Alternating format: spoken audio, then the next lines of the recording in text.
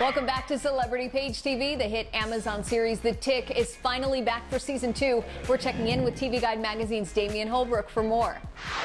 Hey everyone, I'm Damian Holbrook from TV Guide Magazine and TV Insider, and I'm sitting here with Griffin Newman from Amazon's The Tick.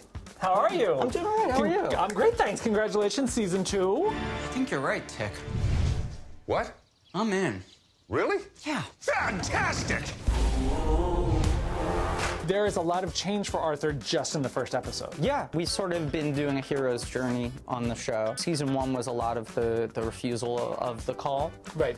And I think uh, Ben Edlund, our showrunner, what he wanted to do was uh, do a show where you really stacked the deck against the guy, so it made sense why he would be refusing the Right, call. right. You know, this is a guy who really has been told he's not capable of doing things and, and doesn't have much power in his own. Um, but it was nice to come to season two now that we have that foundation set. Right. And like literally, like my first lines in season two are like, I'm in, I'm doing this. Right.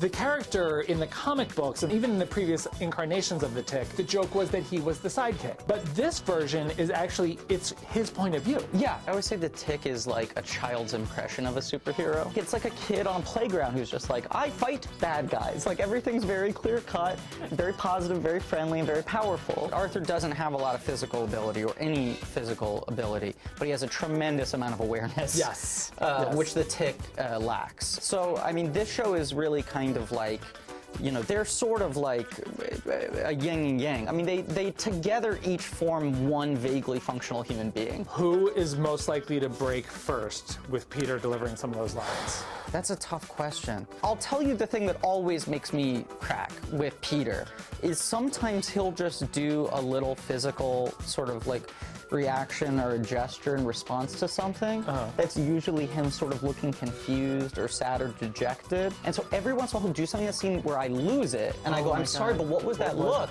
And he said, that's like my daughter when she knows she's done something wrong. And it's so specific the way he does it that it is this sort of like this open wound sort of like vulnerability of a child. That's that hilarious. transparency that always gets me. So if he I'm does gonna- that, I break immediately. Now I'm going to be watching for that. I need to kill. You need a hug. What was that? Hog fight! The Tick on Amazon Prime Video.